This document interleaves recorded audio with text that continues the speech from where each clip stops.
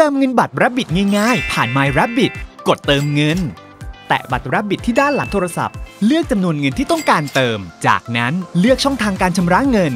ระบบจะพาไปยังแอปพลิเคชันของธนาคาร ตามช่องทางการชำระเงินที่ท่านเลือก เมื่อทำธุรกรรมผ่านแอปพลิเคชันของธนาคารเรียบร้อยแล้ว อย่าลืมกลับมาที่ My Rabbit เพื่อแตะบัตรอีกครั้งให้เงินเข้าบัตร แค่นี้ก็เรียบร้อย